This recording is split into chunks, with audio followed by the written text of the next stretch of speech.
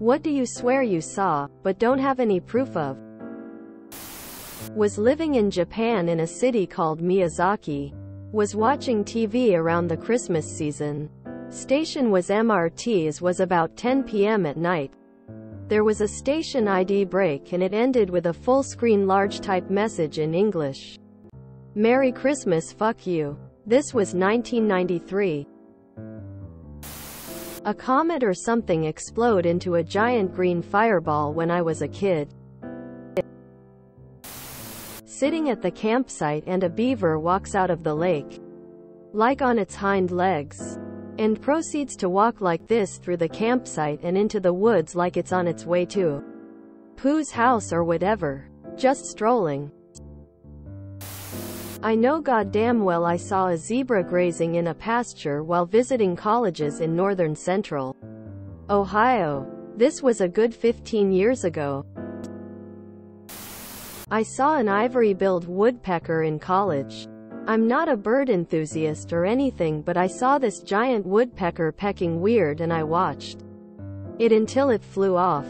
A day or two later I saw on the news that one had been spotted near my area and that was a big deal. Because they were declared extinct in 1944. A lion at my parents' house when I was a kid. My older brother saw it too.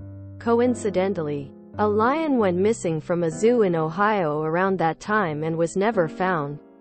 My brother and I swore we saw it but obviously had no proof. That winter, my parents found giant paw prints outside that definitely were not a dog, cat, coyote, etc. Years later when I was a freshman in high school, my friend's mom was driving me home and swore she saw a lion run across the road my parents live on. She never even knew the story about me swearing there was a lion out there. She was so convinced that she immediately called the police. That was all the proof I needed to know I was never crazy and know what I saw as a kid. I saw a fox chasing a turkey on a hot summer day. They both tired out and stopped running at the same time and laid down to rest then they got up to continue the chase after about a minute. Some absolute cartoon nonsense that I swear happened. But I wouldn't believe me either. Kathy Bates I was working the closing shift at a Publix in Atlanta as a bagger and I swear I saw her start to leave. I went up and went, excuse me. Did you know you look like? The woman interrupted and went, Kathy Bates. Yes. I know, then she smiled and walked out of the store. Thundersnow. In college we had team workouts at 5.30 a.m. during the winter. When we emerged from our dorms we were greeted by an absolutely insane lightning display combined with driving snow. The walk across campus was absolutely insane. Like something from the day after tomorrow. When we finished the workout around 7, it had warmed up and had changed to rain and everything had melted. There were 25 guys on the roster and we all know what we saw. But none of our friends believed us. I swear I saw a cougar walking down the side of the road on my way home from my girlfriend's outside town at like 3 a.m. once. An ocelot behind a North Carolina dumpster and a zebra running in a ditch on I-40. Also in North Carolina. A monkey wearing a football helmet driving a Volvo wagon through my uncle's neighborhood at night. In 1995. I was six but I know what I saw.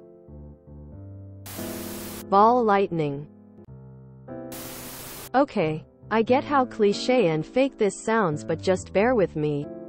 My parents bought a very large but old and decrepit New England home. I was running around it relatively alone back when I was barely elementary school age. I was running up the stairs. At the top it takes a 90 degrees turn onto the floor. I remember getting to the fourth-ish step from the top, grabbing the top railing and swinging around to the floor only to see something. It looked like a wide human leg made out of wood but where the knee should be was a deep socketed face. The entire thing looked like it was melting. Kind of like E.T. covered in mud. I just remember freezing and looking up to lock eyes with it. Then it started moaning in a way. That sounded like warped wood moaning in pleasure from the pain. Obviously I booked it out of there and hid in the family car. Now, I'm not saying I saw something supernatural. I've always had a very overactive imagination. I routinely saw stuff as a kid like faces in collection of leaves on branches. That being said, I remember seeing something so clear that was just there one second. Then gone the next. I swear I could hear it moaning and screaming. Even as I write this.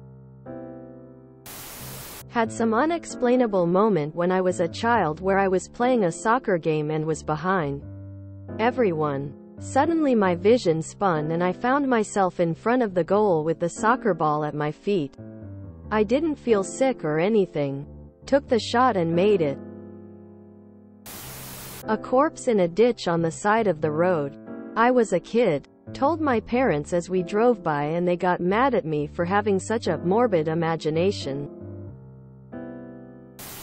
Driving on a semi-rural road south of Salem, Oregon about 15 years ago. I swear I saw some cryptid-looking bipedal wolf thing.